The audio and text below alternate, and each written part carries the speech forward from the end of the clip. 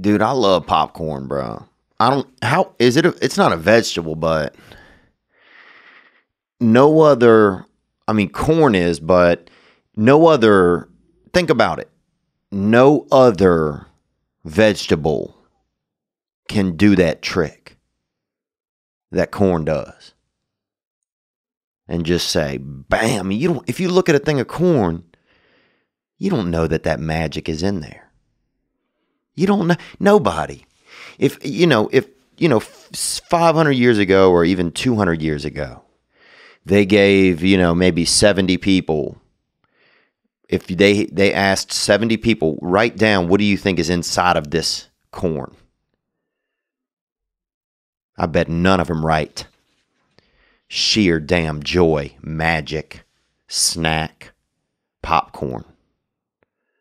That's the thing they don't know what's in there they don't know they don't know what's in the kernel they don't know you know people they, they, not every, you can't always see the magic you can't always see that magic and Garang, boy. Garang orang. You can, come on, you can't tell me. Dude, if you put five or six little popcorns in your hand, you can't even feel it. That's how beautiful a little, just a little creature. That's a little snack of snackosaurus, and you just let that popcorn climb into your mouth and it's crunchy and it's naughty too. Some of it is strong and some of it's it pops a little when you eat it. Get yeah. Come on, boy. But nobody knows the magic that's in there. The people can't, you know, they just they don't know the magic that can be inside of of us. People don't know it. You know, sometimes you just you can't judge a vegetable by its by its cover, really. You really, really can't. Let's go. And we don't even have any intro music today. Because why? I forgot my computer, and that's how we do it. We hook it up, and and I forgot it.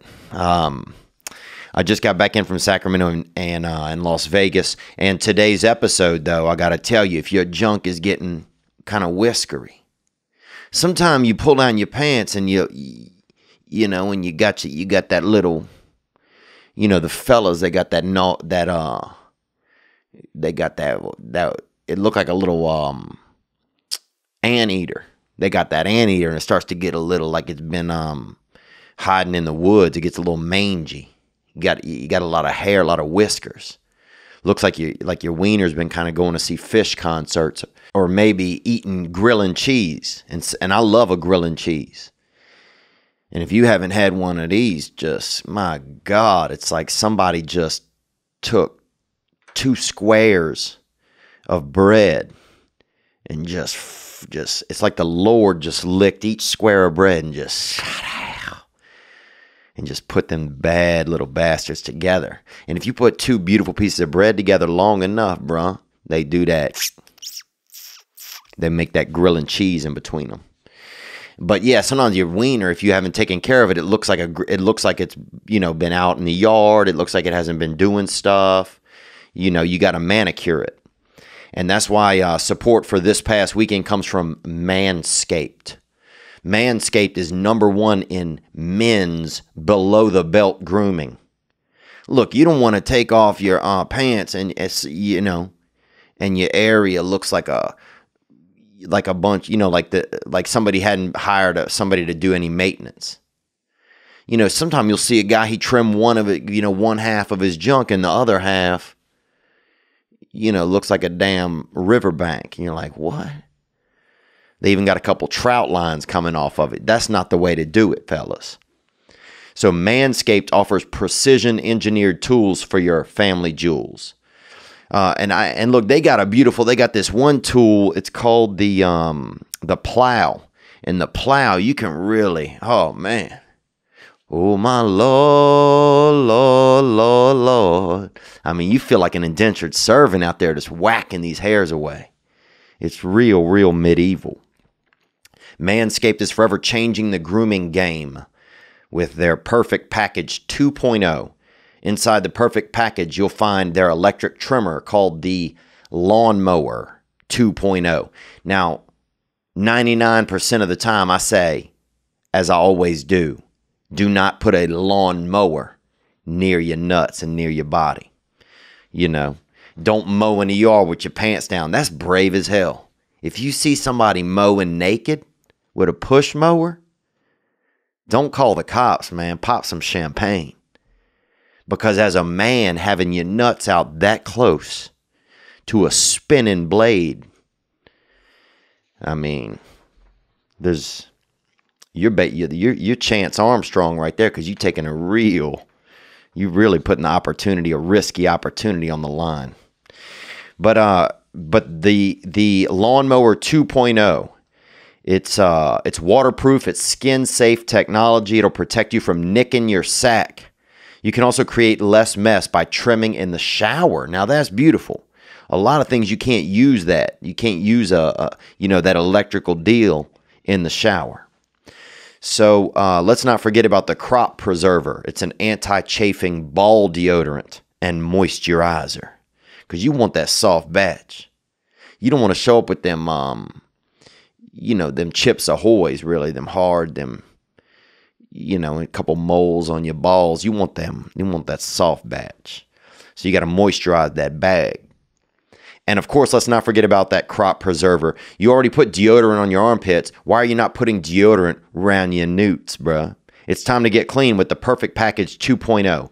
Get 20% off from Manscaped and free shipping with the code THEO, T H E O, at manscaped.com.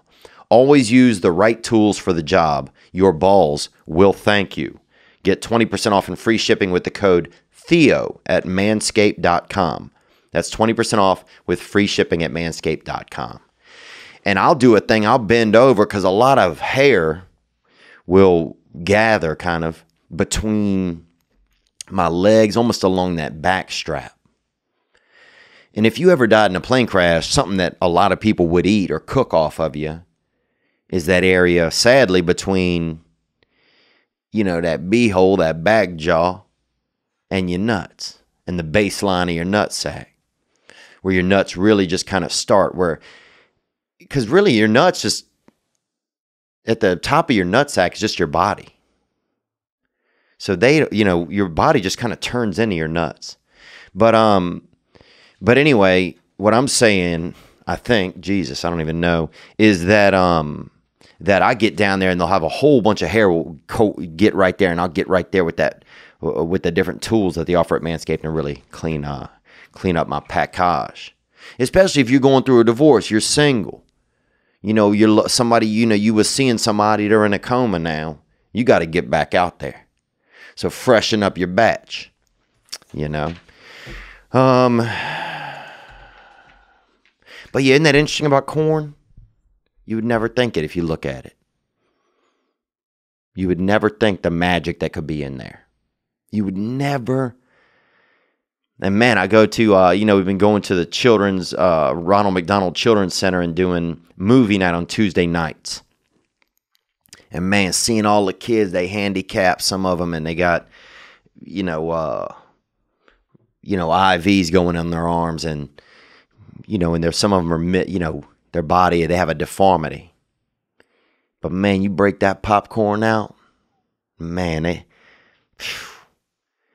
some of them don't even have a full finger, uh, five fingers, and they and they, but they they suddenly uh, every hand looks the same when they're reaching for that magic. But you don't know a ma- you don't know the magic that's in a kernel, man, and and people don't know the magic that's inside of us or inside of you. They don't know it but I believe that we all have something special in us. Uh, you know, I'm feeling I'm feeling pretty good, man. I, I, I, had some good shows this weekend. Just got back from Las Vegas. Literally just got back about an hour and a half ago, and uh, and man, it was fun. If you were at that show, whoo, people came out. People came out. And we had a mother daughter that came out. This woman Dorothy and her da- her and her daughter came out, and man, it just really makes me feel good. I see the see some family connections.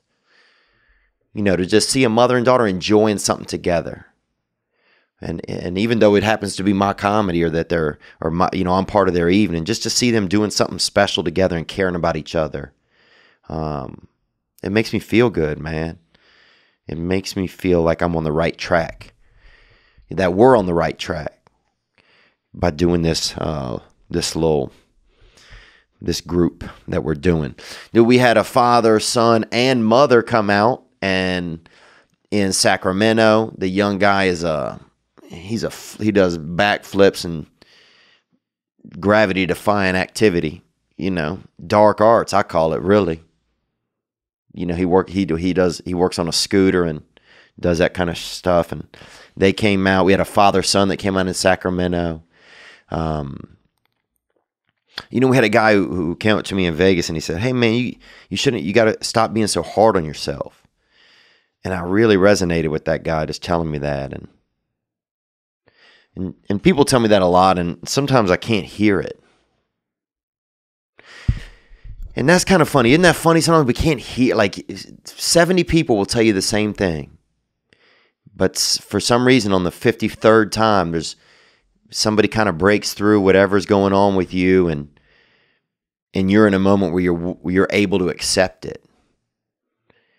Uh, and it, I had a little bit of that man and and I just yeah I woke up this morning thinking you know every, what if everything's okay? What if I quit this little dirty circle in my head and everything's just okay?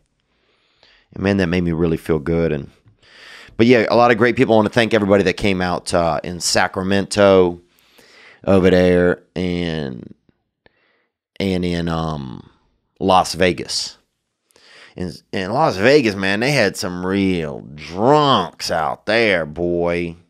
They had one dude at the end of the night. He was uh they had like a little in the hotel. It was probably about 2 a.m. They had a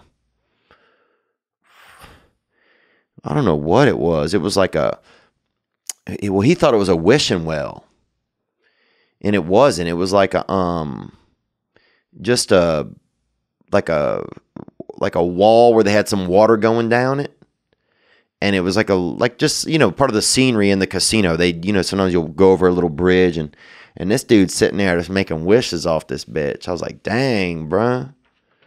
That ain't even.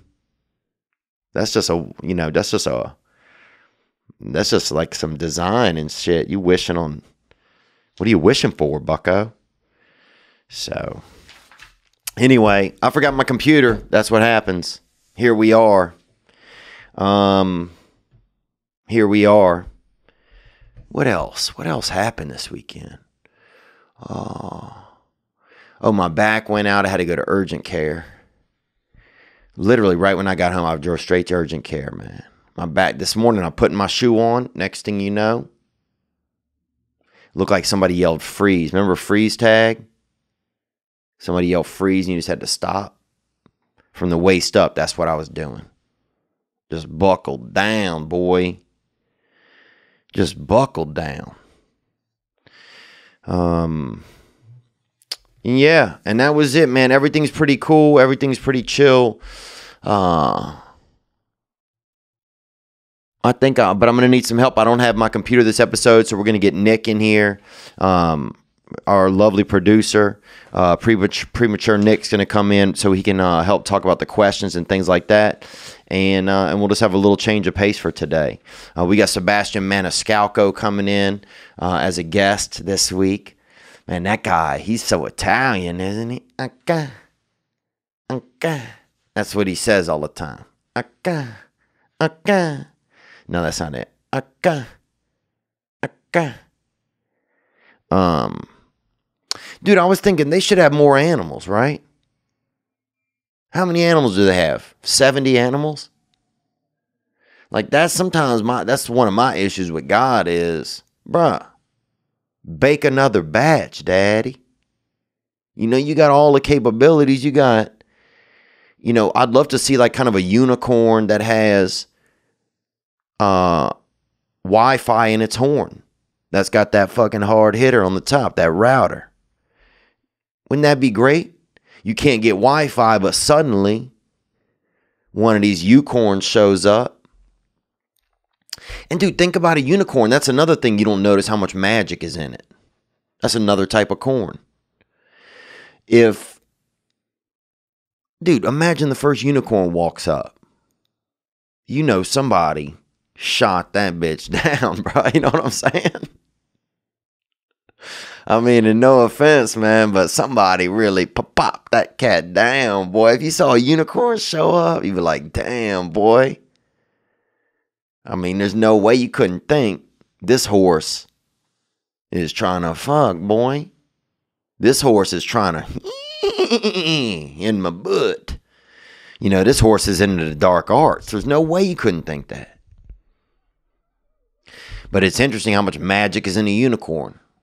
They're probably top six magic animals. I think anyway, if you had to think about it. Um, I don't even know what we're talking about.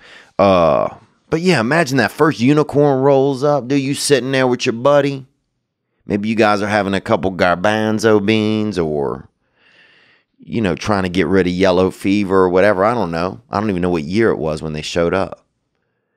And next thing you know, this bad bitch rolls up with that hell with that freaking that top piece, baby.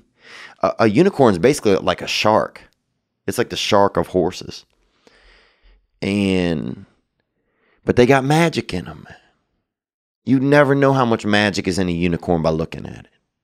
You just think, damn, this horse is really honestly probably trying to meet some local men. You know, we're trying to do or trying to pick a lock or something or what else are trying to just, you know, push a button on an elevator or what else? I don't even know what a horse would do with that horn on its head. You know, hang out, just maybe hang laundry, but like just one shirt. But you don't realize when you see that unicorn how much how much power is in them and how much magic, full of magic.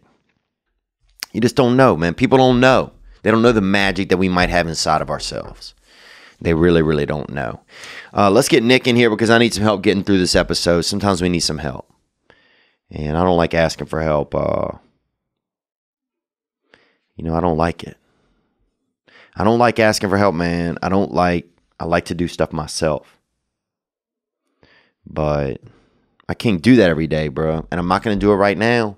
I'm to keep the vibe going. We got a good vibe. We're cruising. It's Monday. You're here. I'm here. They had an earthquake in Bali, I saw on Twitter. So imagine that. Let's shake shit up, bruh. Mother Nature's out there making that mixed cocktail, bruh. She's shaking it up. Let's see what we can do. Uh, we'll be right back. Um, actually, uh, Nick, you want to come on in? Premature Nick. What's going on? I'm on time. Yeah, you're on time, brother. How are you? Good, good. I'm chilling. How Yeah. Was, how was uh how was your trip? It was it was good, man. It was fast and it was good. It was one show a night, so it's a little bit of a different vibe, like less pressure to like hurry up and get for this get to the second show. Regroup. Yeah, yeah. Yeah, it was time to regroup. Um but yeah, it was good, man. It, it was a good experience, man. Yeah, man, thanks for stepping in, dude. I'm sorry I forgot my computer. It's all good. It's all good. We got multiple here, so Yeah, good man. Uh, yeah, let's get into some of the calls and um, and then if you have some news stuff, let's let's uh, change the vibe a little bit today. cool, cool. Uh, yeah, this first one, uh, we had a couple people calling about this. The Sacramento sound like the Sacramento people got a little rowdy. Oh yeah, yeah. They had a couple. Um, well, here they got a call. Yep. All right, Here we go. Hey Theo, this is Tony from Sacramento. Big I was at Tony. your Show. Big Tony. Thank you for calling in. That's and Tony, short for Anthony, I guess. What else you think? Big Tony, maybe Those are pretty much Antonio. Antonio. Yep, there you go. Spanish Tony. Um, onward. I was at your show last night. I was at your later show last night. And man, I just don't feel very good about my city. We were kind of rude to you, I think. And um I know you had to tell like like five people to shut up and it was distracting and I had one of the balcony seats and throughout the whole show there wasn't a single time when anyone was just sitting down and trying to and just watching the show, trying to enjoy it. At any given point for the whole damn thing, dude, there was like at least two or three people milling about if not more. It was distracting and it was Mm. hard to enjoy your show. And if it was distracting for me, I can only imagine how distracting it was for you. So we were not very nice to you that, that night and, uh, I want to apologize, man, and I hope you still want to come back and see us. Yeah, man. Well, look, I appreciate the call. Yeah, that's the Friday night show. That was there was yeah. Some guy was yelling. He kept yelling out. At one point, he's yelling. I think at like one of his wives or something. I don't know what was going on. He might have been Saudi Arabian, and they carry a couple wives. Like you'll ask a Saudi like a Saudi Arabian guy will reach in his pocket and fucking accidentally drop a couple wives out. You know. Um, but you know what? I did notice that there were constantly people just walking around. I mean, Sacramento also, let's be honest, dude, it's got that sort of a lot of missing people kind of. You know, like a lot of a lot of missing people are in Sacramento. So I'm amazed sometimes that more people don't know that. So if you're missing somebody, go there and that's where they are. I mean, it's a lot of people you've seen on posters and stuff. They're in Sacramento. Missing animal, Sacramento. Can't find my. Has anybody seen my wallet? Sacramento. It's all there, man. Um, and I just feel bad for the people that's at the show that's trying to enjoy themselves. You know, that's the part that gets me a little bit. But but uh, but thank you for the call, man. It, you know, it gets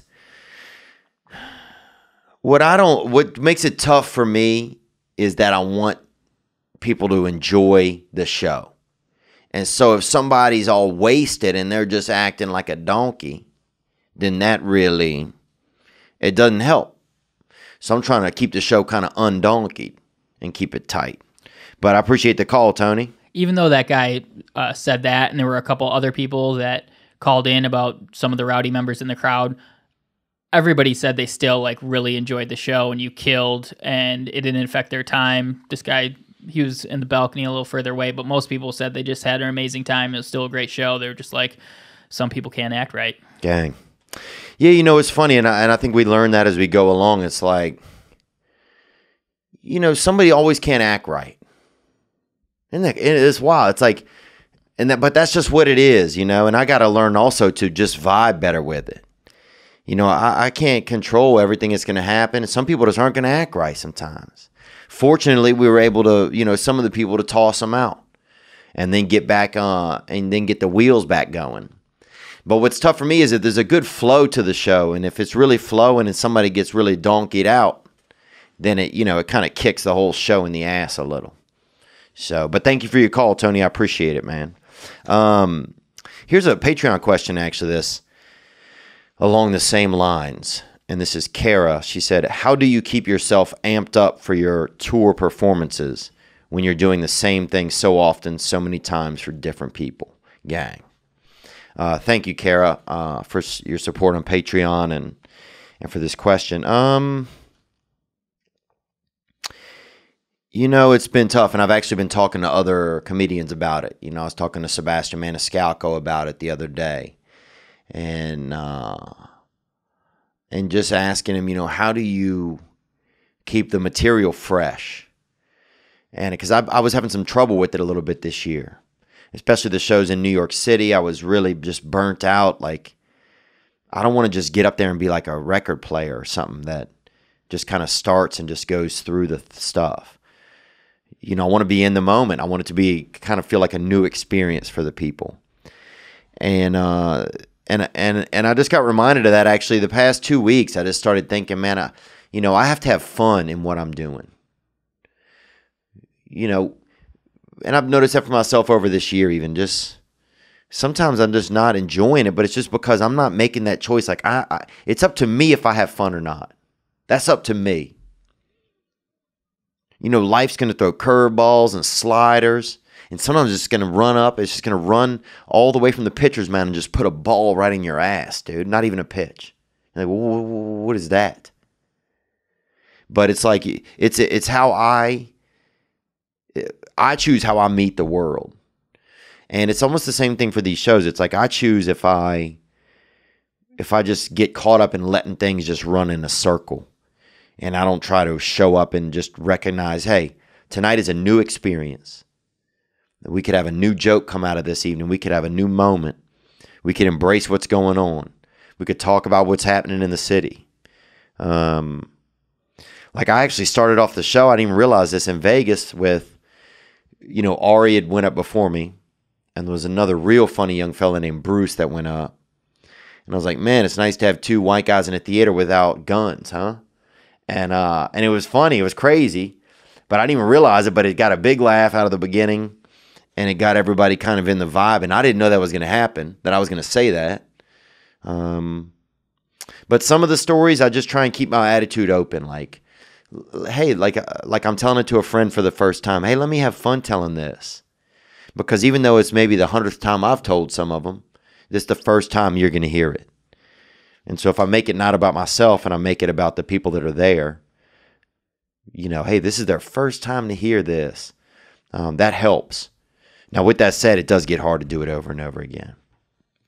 It gets hard. Some jokes, it's like the punchline, and almost it's like screeching out of you. You don't even want it to. You don't even want to say it. What was some of the advice from Sebastian? Oh, Sebastian suggested that you kind of change it up. okay. He's like, you know, move it on, change it, doing it. I don't even, that's Yeah. his, that was his whole advice. Like, what do you say, bro? It's like, "Hey." Dude, Sebastian the other day told me he was taking adult swim lessons. and it fucking blew my mind. Um, but he'll be on here this week, and I'm going to bring this uh, question back up with him, Kara. Nick, if you'll remind me to help do that. we'll do. Um, let's take another call. What came in? Uh, so last week we had the gentleman who called in. Uh, he actually had two voicemails. The first one, he was feeling pretty down, feeling overwhelmed by all his student loans. He called in and uh, said he had a better attitude about it, but we got some some responses to your advice to him to just like ride it out, pay as low as you can, keep lowering the payments, um, and we got some responses to that. Okay, cool. Yeah, that's th- this is pretty. Uh, I'm curious to see what some people thought. Thanks. Here's the first one. What up, Theo? This is Tyler from Birmingham, Alabama. Gang, to gang. See it on Gang, gang, brother. I'll see you next week, man. August 15th at the Stardome, so looking forward to that. But uh, anyway, I just wanted to call about the guy who had a who was kind of down on himself about the student loan debt. You had some good points. Um, uh, a couple things that I've heard. One, student loan debt is the best line of credit to have. Hmm. So, you know, it's not a bad thing to have on your, on your credit line. And you can make the minimum payments. You don't, you, there's no timeline in order to pay it back. And I have an old friend that told me one time that, uh, you know, if you, if you die before you pay it all back, then you win. So, I mean, no rush to pay all that shit back. That's hilarious, dude. Yeah, that's the goal, man. Look, bro. If that's the case, go get your masters, buddy bear. you know, damn. Um, that's a good suggestion. What do you think about that, Nick? Yeah, I mean, I'm kind of of two minds. Like, it it doesn't hurt your credit score. It's not going to hurt you like getting a house or whatever. But part of me is like, oh, you took out an agreement.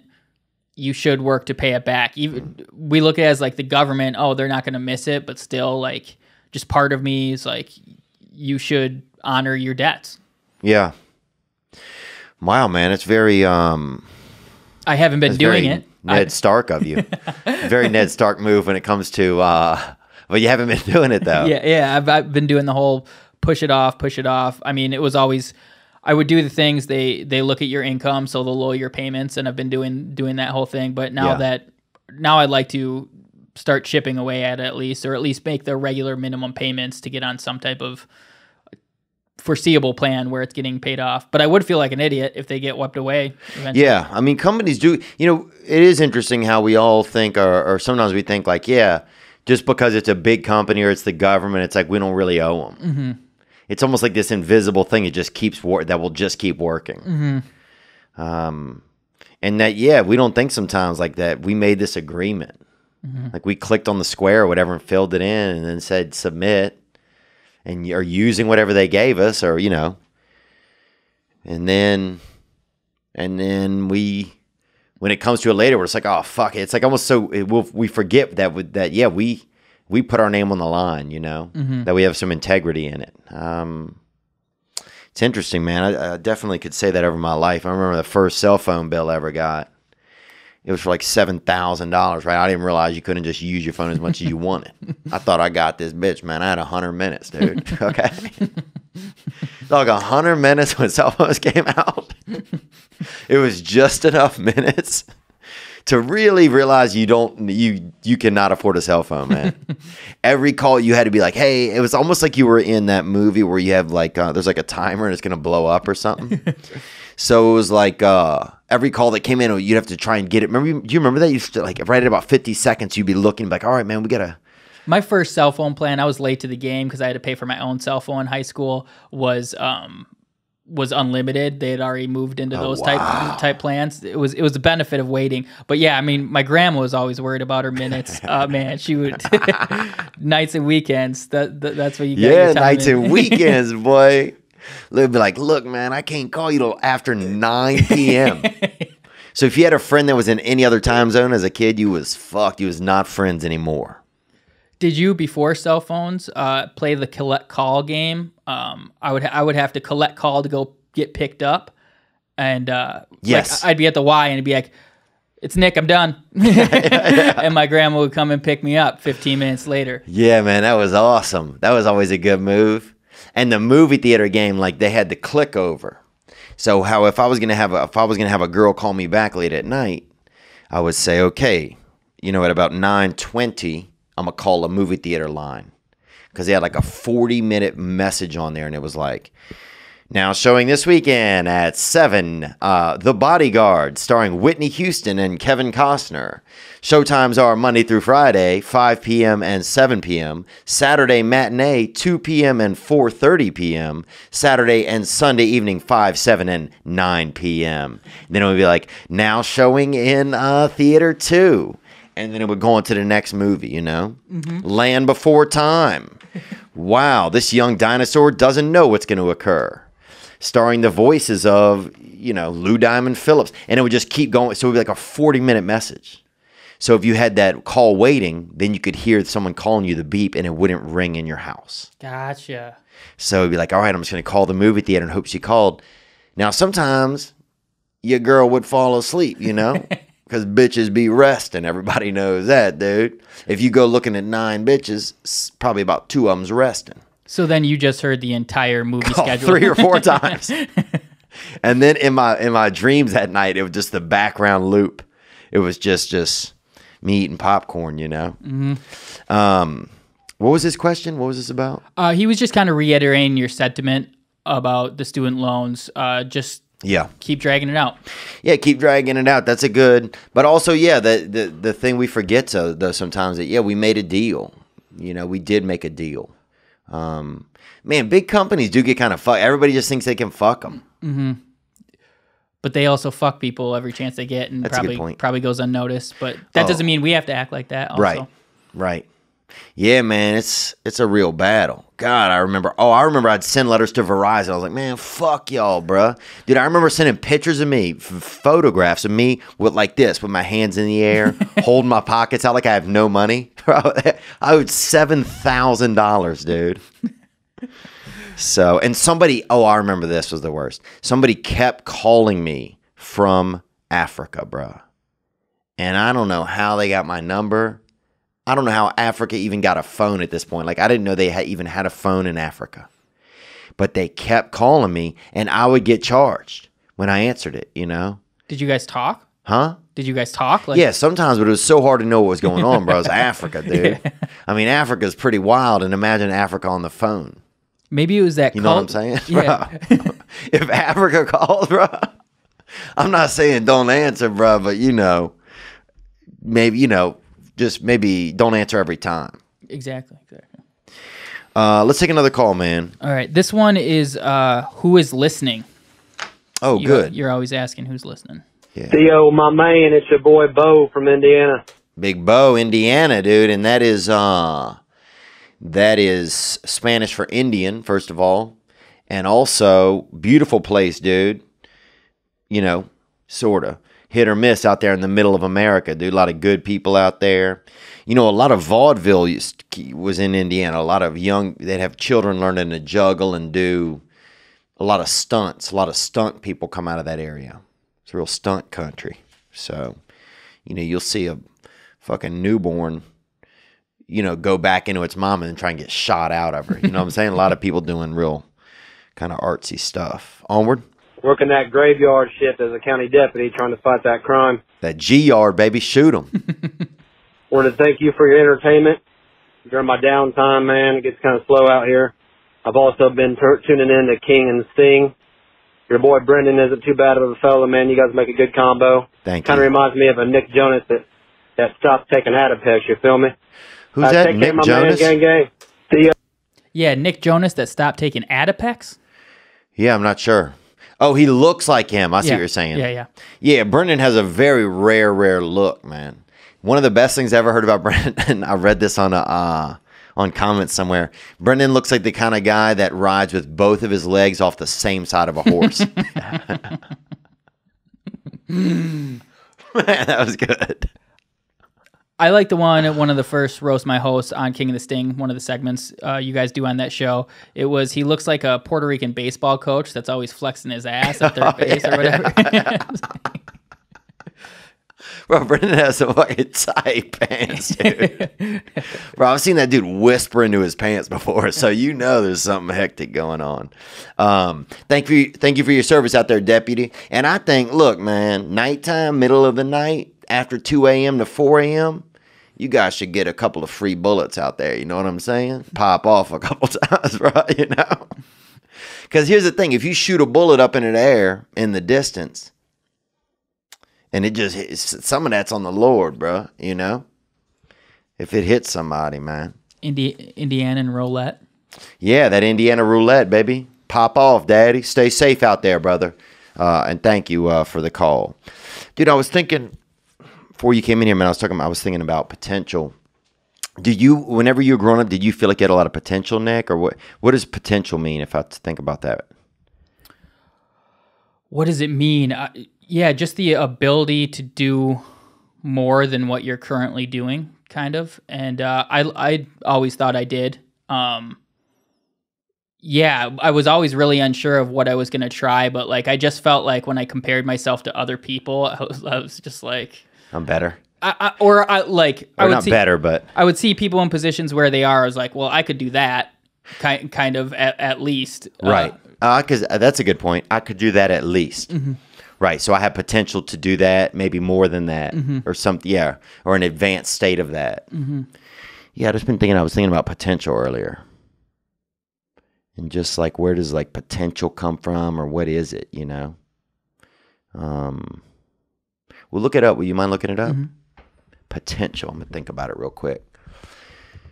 Uh. Yeah, I guess the a bit you could because people that's one thing that people i mean i guess people can recognize your potential people say that a lot you know or you know you'll hear that term uh, recognize your potential uh, what does it say brother having or showing the capacity to become or develop into something in the future. Yeah because i was thinking about popcorn at the beginning of this and how you don't want to know think about that dude popcorn you would never guess it's in there Mm-hmm. you would never guess it dude if you looked at it if you looked at a corn bro, and you wrote down 200 things that could be in there, none of them would be popcorn. All the things I wrote down would be smaller than what's in that. Right. So that's kind of potential, Yeah, you yeah. know? Yeah, man. I guess that, you know what's funny? I guess I see potential in people. I guess if you see, if you, if, it's really kind of cool if you can see, if you do see, if you see potential in somebody, that's kind of like a neat way to look at people, I think. I'm, I, I don't do it all the time for sure. I forget about it a lot. But looking for somebody's potential. Um, yeah, I wonder if you have to, I wonder if potential is something that other people have to say, oh, I, f- I- I feel like you have potential. Or if somebody tells you that, it definitely makes you feel good. Yeah. That's a big compliment, or that's a big thing because it makes you feel motivated that you can do more. I think a lot of potential is mindset and you can get that mindset from like other people reinforcing it, telling you and then you're like, "Oh, I can do this." And so then you give an attempt at it. But like if you don't I think that's why like there's kind of like a malaise in like poor neighborhoods or whatever. People don't think they have the potential to escape, but when someone from their area ends up succeeding, they they see, oh, that's possible for me too, and it opens up a world of possibilities. Yeah. Yeah, that potential. When you see somebody doing something and it makes you feel like, oh, I can do that. I could be that guy. Yeah, it almost ignites a part of you that's um I wonder if in the future there'll be a medicine that or something that that makes your potential kind of flare up, you know? Or just reminds you that you have it. I guess I need to just remember that. Just try and notice people's potential more.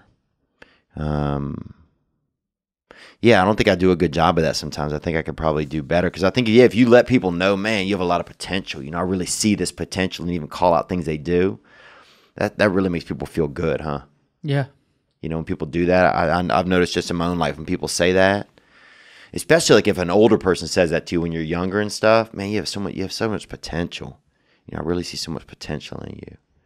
Uh, anyway, yeah, I was just thinking about popcorn earlier. Um, let me say this, man. Internet privacy is basically dead. Uh, yeah, I mean, look at porn, for instance. Did, did you know that the that the UK government passed a law requiring you to hand over your ID before you can access porn sites? Oh Jesus. You're fucked, Nick. if you go abroad, bro. But here, you're just watching fucking and you're still okay. That's right. Like your driver's license or passport, dude. That would be crazy if you had to put something on the line every time you went to watch porn. I bet a lot less people would do it. Um, it's only a matter of time before your government gets the same idea. And what happens when your favorite porn site gets hacked, like Ashley Madison did? All those names and IDs will be floating around waiting to get published on the web. Uh, and I'm going to let everyone know right now that I've been on a decent amount of porn sites, not very much in the last year. You know, the dark arts have really quit drawing themselves um, in front of me in that in that area. But I've definitely looked at some naughty stuff on there. You know, certainly a lot of female on female, a lot of butt stuff probably, and even some double butt. And so I just want to let people know what I've done in case anything ever comes out. But what I'm saying right now is that you have to protect your internet usage with ExpressVPN. Accessing the internet with ExpressVPN means the websites you visit won't know where you're coming from. They shield your identity. ExpressVPN is the best way to make your online activity anonymous, and it's the VPN provider that I trust to protect my data. And I'll say this: when I was in when I was in China, I had to use a VPN to access uh, the internet, to access sites that I wanted to, um, to sneak around so the government didn't see you trying to do it, so you couldn't get in trouble. Um, you can use ExpressVPN every time you go online, and you should. Download the ExpressVPN app on your computer or phone, push one button, and voila, you're protected. For less than $7 a month, you can get the same ExpressVPN protection that I have. ExpressVPN is rated the number one VPN ser- service by TechRadar and comes with a 30-day money-back guarantee. It's definitely time. Um, I mean, I worry a lot of times, Nick. It's like I'll think, man, here they go. I do. I know that years from now, all of our truth is going to come out, like the things we look at, you know, the things we've seen, the things we've Googled. Jeepers, man. You know, jeepers, man. I mean, I I should do one day just all the things that I've Googled and how I feel about them now. um, it's time to stop Big Brother and surveillance of your online activity. Protect yourself today and find out how you can get three months free at expressvpn.com slash Theo. That's E-X-P-R-E-S-S vpn.com slash T-H-E-O for three free months with a one-year package.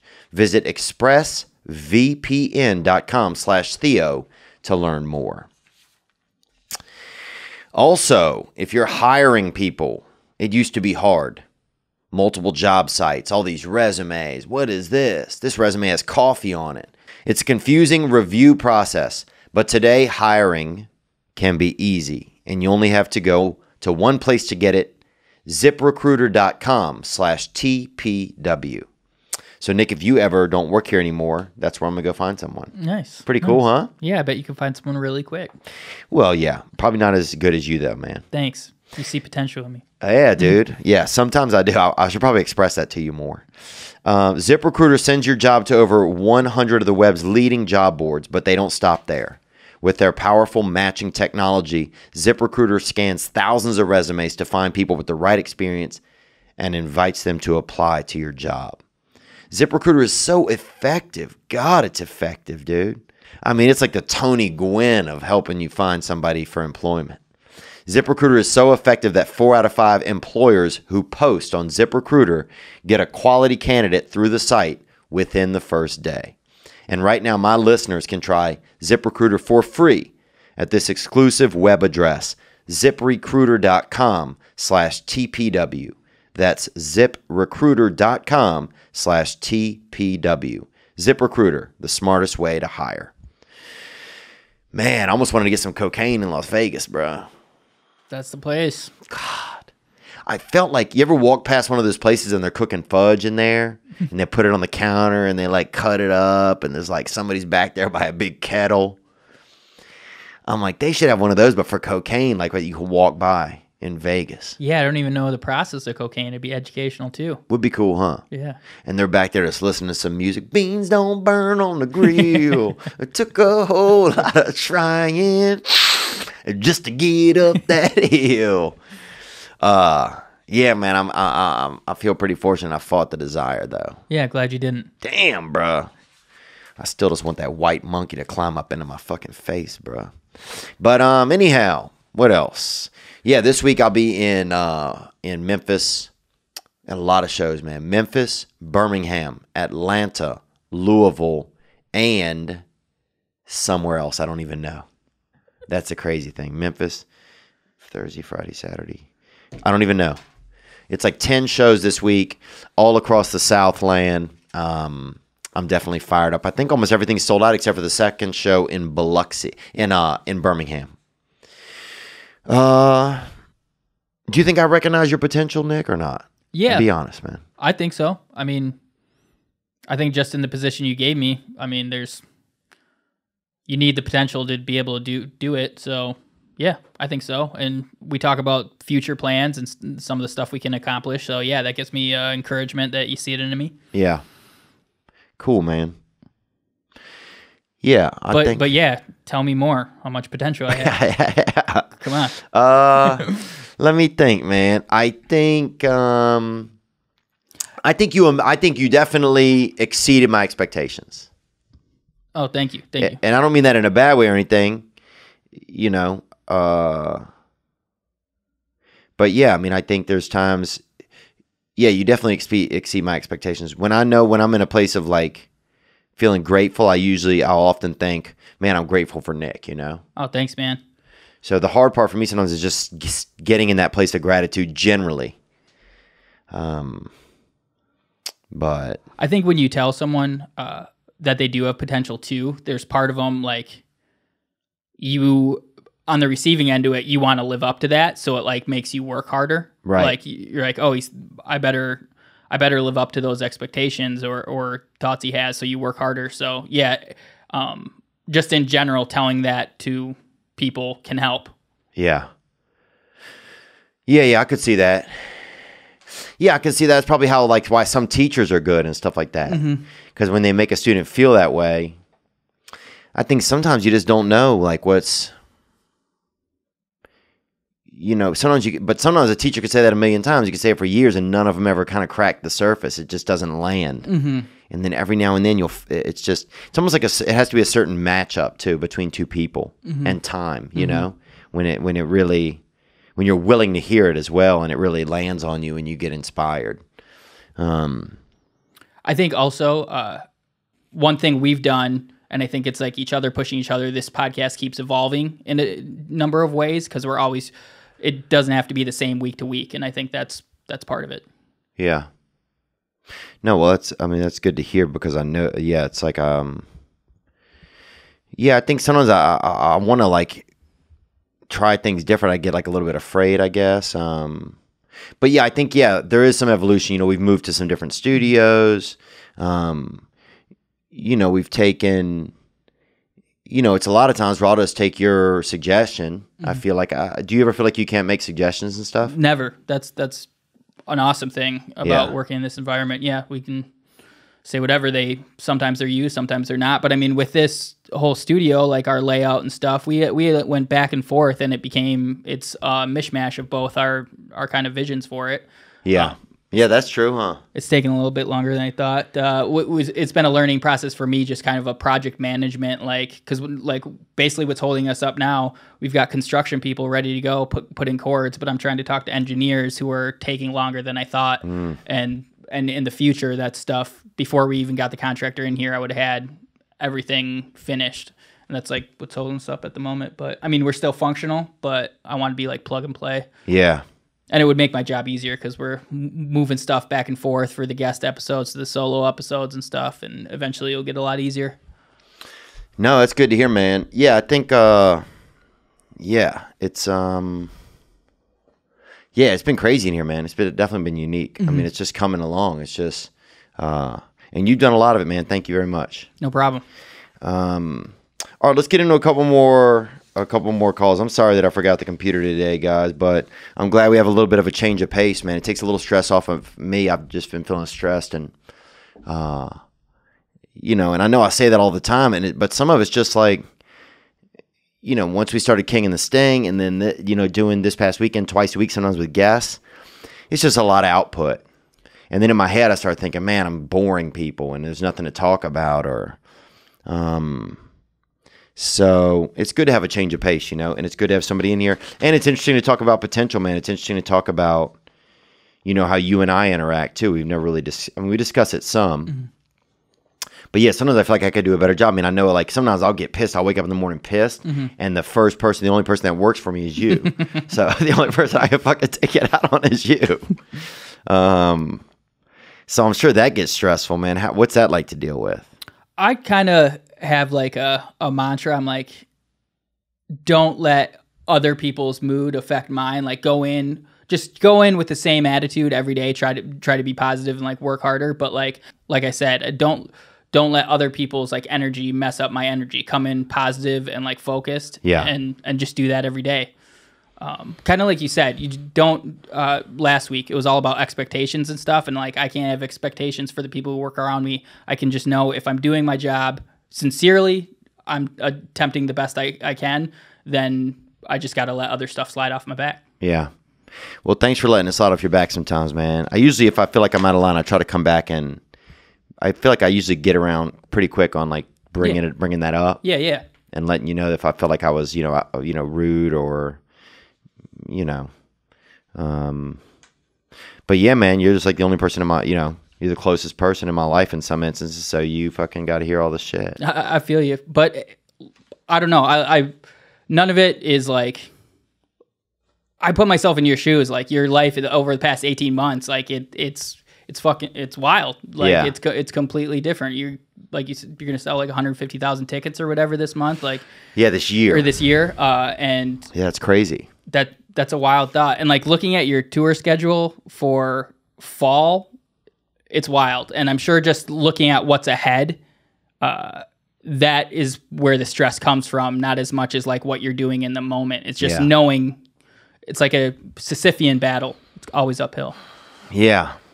Yeah, it's always yeah, it's it's definitely been interesting. And so then it's just learning who I am in those spaces, Mm-hmm. you know? And learning like uh you know, and learning that there's some things I like about me in those in those uh, as this uh, things has has gotten busier and there's some things that I don't. Um you know, one of the things though is sometimes with my mood, the mood that I wa- you know, when I get agitated if things aren't a certain way and stuff, but I appreciate you putting up with me, man. No problem. No problem. And I definitely uh, see a lot of your potential, man. And um, you know, I know I'm fortunate to be able to work with you. Thanks, brother. I, I feel fortunate as well. I think you have the potential to be the biggest comedy star in the world. So Thanks, man. only going up. You're going to be selling out MSG like uh, Sebastian. What monosodium glu- glutamate? That shit that's fucking killing You're gonna- Asians, bro. You're going to quit comedy and start selling chemicals. I could see that, bro. God, that would be good, dude. Just roll around with a big tank of it on the truck. Come over here, boy. Let me get a couple squirts of this under your tongue. It sells itself. Yeah, it really does, bro. It's so good. Dude, if you order just MSG, bro, from Israel or one of these other places, bro, fuck the food, man. Fuck the bok choy, dog. Just put this shit under your tongue, dog, and look for the Lord. Papa. Um, all right, let's take another question or two, man. All right. Hey Theo, um, my name's Sophia. I was born with a condition that um, affects every system of my body, and I have been chronically ill my entire life. Oh God, I think I had that. I think it was my mother actually when I was young, um, and now it's just myself bothering every system of my body. Um, I'm sorry to hear about that. I appreciate your call, uh, and thank you for sharing that with us. What's going on? And some of the main symptoms are uh, overwhelming sadness and anxiety and things that really keep me from being able to socialize very well. And uh, I'm about to go to a concert, and I I, ha- I don't get out of the house much, so I uh, I'm stressing being around people, and I'm fearing judgment. I I just watched your podcast um, where you talked about thinking about what other people are thinking about you and when I go out in public I had to I have to do a lot of things to be able to take care of myself and sometimes I worry what other people think of me and it's really stressful. So um knowing, you know, that there's other people out there that are going through that same thing. Goddamn just to anybody else out there with chronic illness, whether or not you know you have it, what's going on in your body, know that you're not alone and that it's always okay to express your emotions and it's always okay to tell someone that you have to step back, Yeah. set your boundaries. Um, thank you so much, Theo. I adore you. Gang, gang. Well, thanks for uh, the sweet uh, call. Yeah, I could definitely feel. Yeah, it makes me. It makes me. You know, it makes me think that you're pretty brave to call and share that. You know, that takes a lot of bravery. I mean, it makes you feel like you're on the front lines of your own emotions and feelings and you're battling that. And that anxiety, yeah, it's so tough you know you go somewhere and you think that everybody already doesn't like you before they get there and they've already made this decision in their in their heads or you know you just get so scared of like just being out and about and you know I get scared of looking in people's eyes sometimes cuz I feel like they knew that I was they could see something inside of me that was wrong and I didn't even know what it was and or they could see that I was weak or I don't know I just yeah I, I just I, I know that that's really painful um, and I know that that's really brave, though, of you. You know, and to to to say, look, you know, I'm still I'm going to pack up who I am, and I'm going to go and I'm going to go see this band, or I'm going to go and and and apply for this job, or I'm going to go and and uh and I'm just going to take action. Um, and you know, it's so funny when you we will you play the beginning of the call again, Nick? Hey Theo, um, my name's Sophia. I was born with a condition that um, affects every system of my body, and I have been chronically ill my entire life. And some of the main symptoms are uh, overwhelming sadness and anxiety, and things that really keep me from being able to socialize very well. And uh, I'm about to go to a concert, and I I, ha- I don't get out of the house much, so I uh I'm stressing being around people and I'm fearing judgment. I I just watched Yeah, this really, you really hit, you really hit me in the heart right there. Um, yeah, because you're just fearing judgment, and you know why it kind of makes me sad. I think when I really think about it, I can relate to that, but it also makes me sad because I know that I'm judgmental sometimes. You know, I know that I'm as much as I don't want to be, I, I am. You know that I judge others because it makes me feel a little bit separate and that distance that space gives me the space i need to then put up my guard and to be okay you know and uh you know, and you calling and saying that, I think it, it reminds me that that I can always be of service somehow. If I'm at a concert, if I'm walking down the hall, if I am, no matter what I'm doing, I can always be of service to someone. Or I always, there's always an opportunity. Because there's probably going to be, you know, a lot of other people at the concert. And none of them may know what you're going through. May know, but some of somebody may get a feeling when they're around you. Oh, maybe I should just check in with this person, see how they're doing, or just, you know, it's like, uh, you know, you are an opportunity for other people to express the best part of themselves. You know, a part that's very caring. Um, and man, what if God made you as a gift? Like uh, uh, a, a, God made you as this basically this opportunity that's wandering around. You know, that you have this opportunity, like you are this opportunity. That when people you know, when people care and show that, you know, reach out to you or somebody like you or just let mm, help you to feel okay that that they are then going to feel so good about themselves. And so that's really wild cuz you that's like a you have the potential oddly to make people feel really good. Because if people know that you're struggling and then they're they're able to you know, just help be a part of a little bit more your joy or comfort then that's really going to make them realize a potential that they didn't have inside of themselves. Um, what do you think, Nick? Yeah, she has the potential to make other people feel good about themselves and other people who are in her same position. Her facing these fears and going out into public, it shows other people who are suffering from whatever she is that they can do it too, and you can live a fulfilling life and not let whatever ailment you have hold you back. Yeah, yeah, it's so crazy how we've gotten so trapped inside of ourselves a little bit. Um, you know, I do believe that the cure all for everything can be helping others. And if you can find a way in your life, and even in those moments when you are struggling the most and most anxious and everything, to just try and be of helpful to someone else, that I think for it, it can offer you some peace where where we where we don't think about ourselves. You know, when we're thinking about somebody else, it's really hard to think about ourselves. Um, it's really almost impossible. Um, but yeah, I, I just appreciate I just appreciate you calling because you know you just reminded me of uh, of feelings. You reminded me of feelings, and that people have them, and that we're all struggling somehow.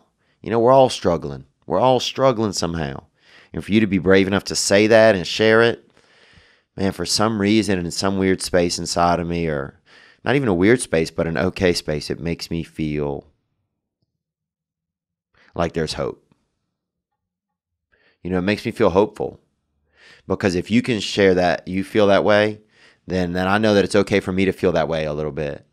And when I acknowledge that I feel sometimes like so worried about what other people are thinking, or I feel so afraid, or I feel, you know, like people are judging me so much, and there's nothing that I can do that's ever going to make me feel okay.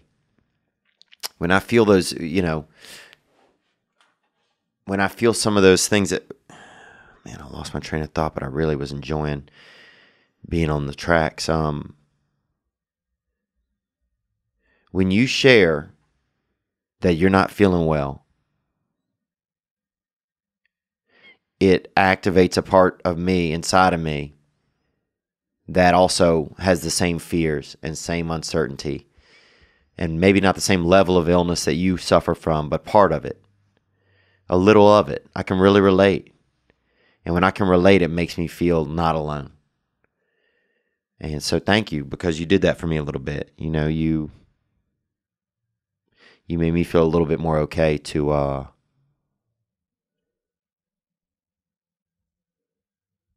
to be brave even if I'm not okay. Um, you're a sweetheart, and I hope you had fun at the concert. And when I come close, I hope you'll come out and be my guest at my show, and uh,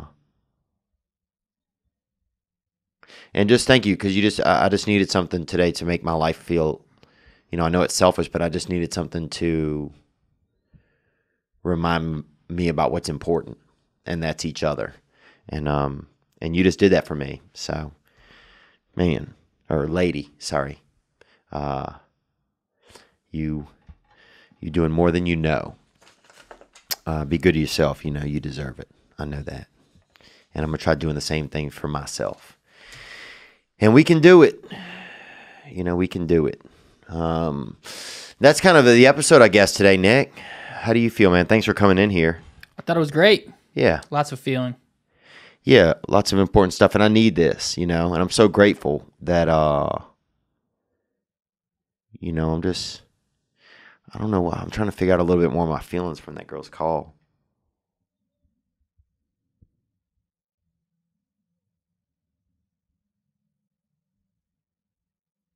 Well, I, I guess it's just amazing. It's like you know a whole you know an hour of chatting and this and that and and the thing that really just vibes the, the the the, vibration really you know really got something whenever we're whenever I was listening to her call you know just kind of made me feel something um it's powerful it's so powerful that we can that that that, that can happen even through electronics and everything you know through a voicemail not even through an actual you know in-person touch interaction that you can feel people's feelings you know that transmission that's powerful you know, the power of just each other.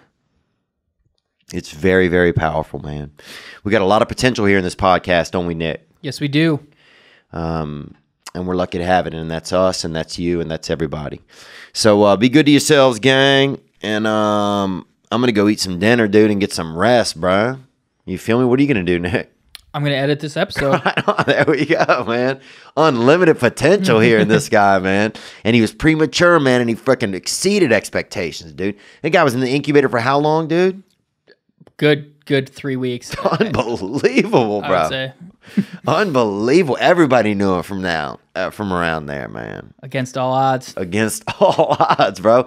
Do you remember that movie about the black football player when we were young? It was on all the time. It was on all the time it was like Larry Gray or something. It was like Mario Van Peebles played in it. No. God, it was good. What was that movie? It was on all the time, man. And he was like against all odds. Radio? No.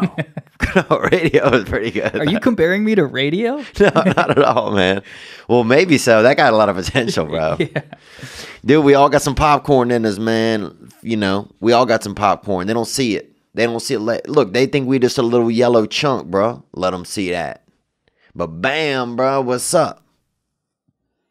You know what I'm saying? Orville Redenbacher, dog. You know what I'm saying? I'm at your door, baby with capabilities. And uh, we'll go out with some um, with uh, let's go out with uh, "Making It" by Bishop Gunn. Gang, gang, man, be good to yourselves. And I ain't made a dollar, I ain't spent, but where it's going ain't killed me yet. I still get where I'm bound to go.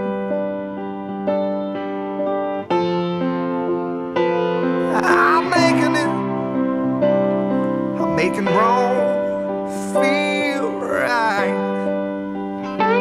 I'm making it, and if hell's where I'm headed, there, I'm making good time.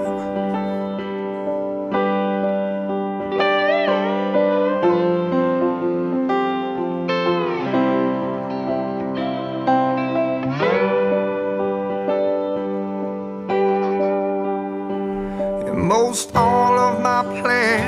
slip right through my hands and wind up next to me, broken on the ground.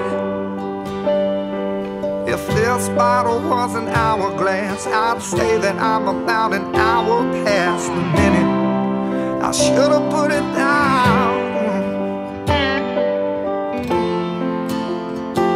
But I'm making it, I'm making